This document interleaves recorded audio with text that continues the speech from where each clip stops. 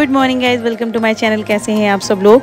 तो पिछला ब्लॉग जहाँ से एंड किया था ये वाला वहीं से स्टार्ट कर रही हूँ। अभी हम लोग आ गए हैं ट्रेन में और यहाँ पे जो कुली भैया थे वो हमारे आ, सामान को अरेंज कर रहे थे और अच्छे से लगा दिया था। सामान थोड़ा सा ज़्यादा था इसलिए हम लोगों ने कुली कर लिया था।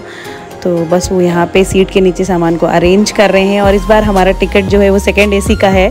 तो इस बार हम आप लोगों को सेकेंड ए दिखाएँगे और उसका एक्सपीरियंस भी बताएँगे। दुरंतो एक्सप्रेस का कैसा एक्सपीरियंस रहा हमारा? डिनर वगैरह हर चीज़ का।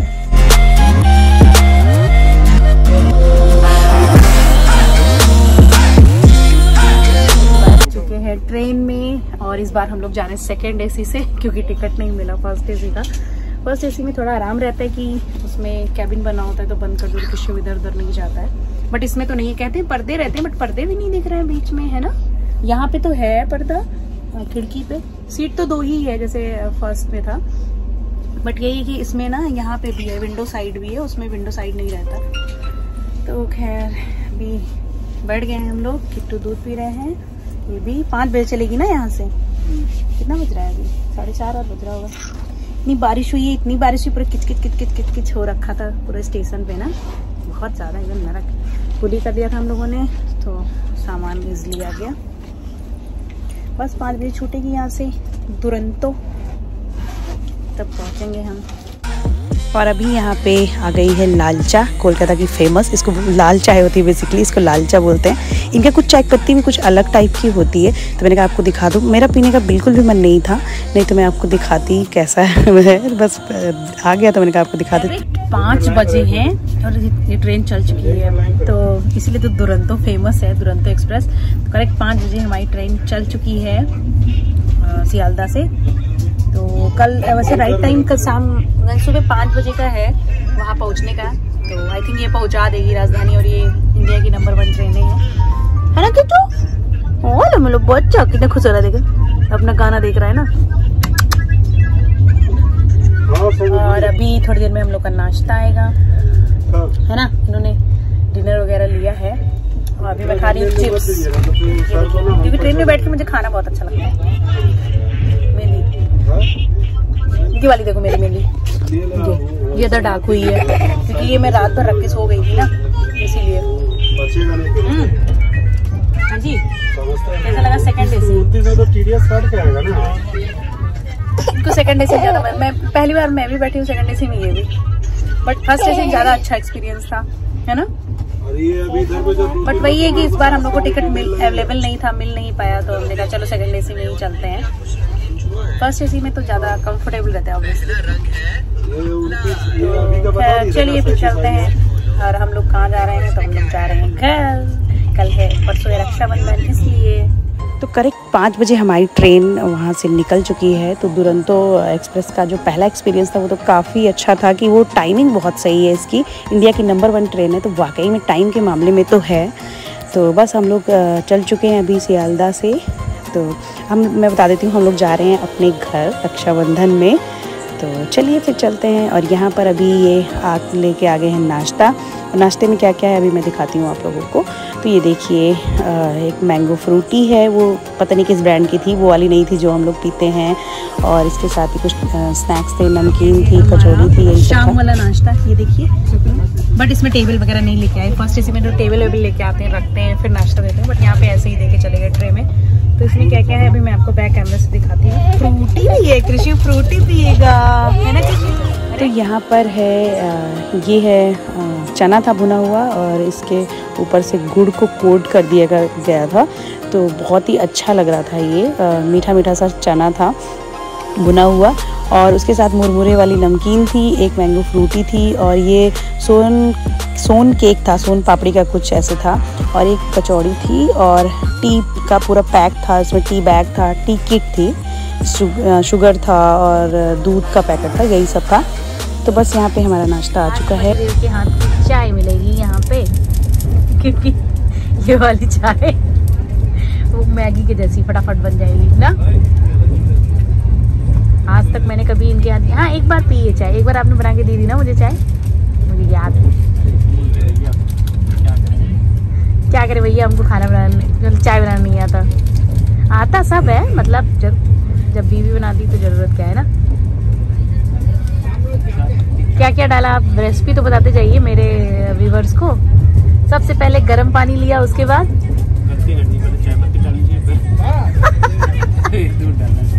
पहले चाय पत्ती डाल दीजिए फिर दूध डाल दीजिए। हाँ। अच्छा आपने पहले दूध डाल दिया? वाह मेरे। अच्छा शक्कर कब डालेंगे? वाह आप लोग गौर से देखिएगा ये रेसिपी कोई बताएगा नहीं इतना डिटेल में। पहले पहले पानी फिर दूध। ये मेरा लड़का और पागल कर रखा है। क्या हो गया? क्या हुआ बेटा?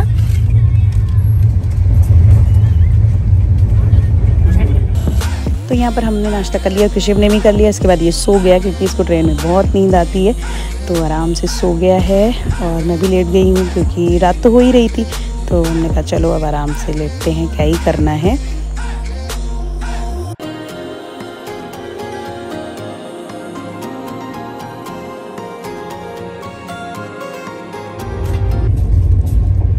अच्छा बच्चे को भी था आप ट्रेन से जर्नी कर रहे हो?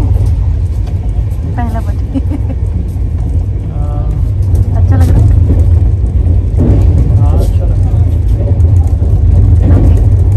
अच्छा मेरे व्यूवर्स ने आपको बर्थडे विश किया है। थैंक यू बोल दो। थैंक यू थैंक यू सब लोग को thank you thank you for the warm wishes और उसके बाद आ गया था हमारा डिनर तो हमने वेज लिया था क्योंकि सावन चल रहा था। और वेज में क्या क्या है, वो मैं आपको दिखाती हूँ मतलब डिनर में क्या क्या था। तो इन्होंने भी लिया था, मैंने भी लिया था। घर से मैं बना के भी लाई थी, बट क्योंकि मुझे ऐसा लग रहा था कि पता नहीं ट्रेन का खाना कैसा होगा तो मैं इसलिए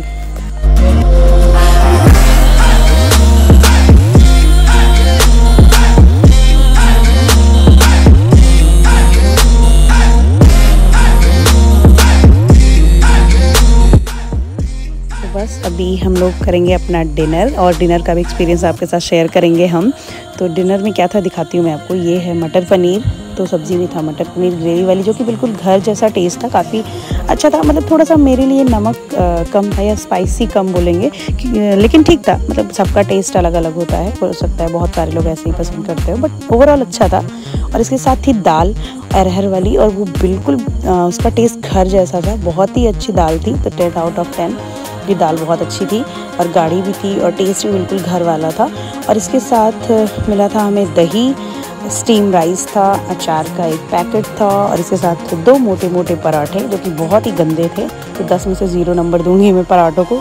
एक तो मैदे के थे, ऊपर से बहुत ज़्यादा मोटे थे तो बिल्कुल भी अच्छे नहीं थे। ये देखिए, यहाँ पर ये आपको दिखा रहे हैं। तो पराठे बिल्कुल भी अच्छे नहीं हैं। बाकी दाल और सब्ज़ी ठीक था, चावल भी ठीक था और दही भी थी।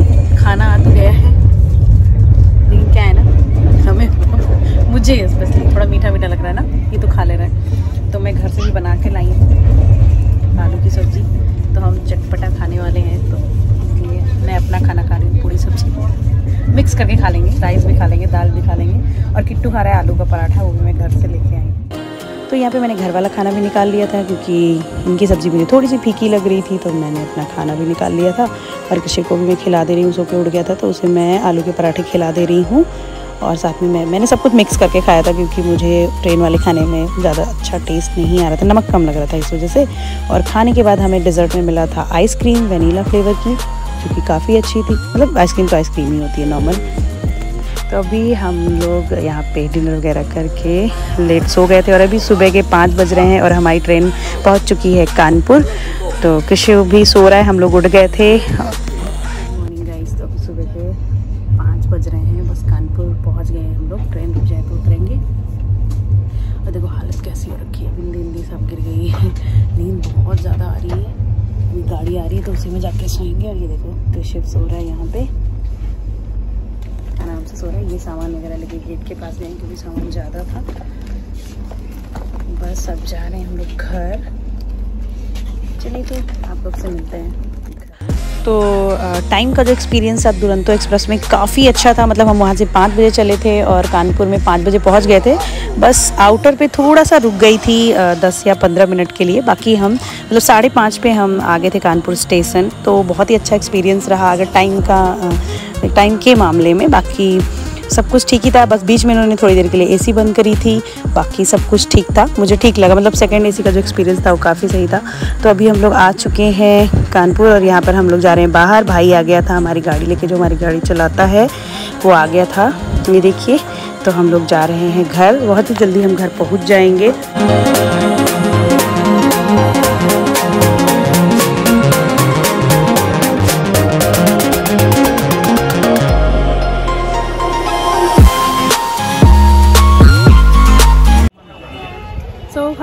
गए कानपुर कानपुर में आ गया है भाई हमारी गाड़ी लेके। तो अब हम लोग जाएँगे घर है ना कृषि?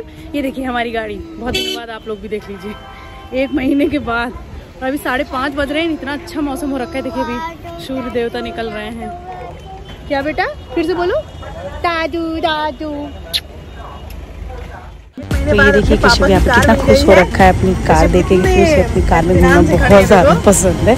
बीच में आराम से खड़ा हो गया है वो और अब बस अब हम लोग जाएँगे। घर बहुत जल्दी पहुँच जाएँगे पाँच बज रहा है साढ़े पाँच तो सात साढ़े सात तक। कार में बैठने का अपना मज़ा होता है ट्रेन में बैठने का अपना। इनका बस चले तो ये कोलकाता भी ट्रेन से जाए अपनी कार से। बस अब हम लोग निकल रहे हैं घर के लिए। साढ़े पाँच बज रहा है सात बजे तक घर पहुँच जाएँगे। क्योंकि सुबह के टाइम ज़्यादा ट्रैफ़िक नहीं रहता। है ऋषि को सैंडल पहना देंगे? तो गाइस अभी हम लोग जा रहे हैं अपने घर। तो चलिए वाला ब्लॉग में यही पेंट करती हूँ। मिलते हैं आपसे नेक्स्ट ब्लॉग में। तब तक लिए bye take care lots of love next blog बहुत ही इंटरेस्टिंग होने वाला है तो पूरा ज़रूर देखिएगा आप लोग। और थोड़ा सा लेट हो रहा है मेरा ब्लॉग तो उसके लिए सॉरी गाइस क्योंकि ट्रैवल में हूँ तो एडिटिंग करने में थोड़ा सा टाइम लग रहा है। तो चलिए फिर मिलते हैं नेक्स्ट ब्लॉग में। Bye bye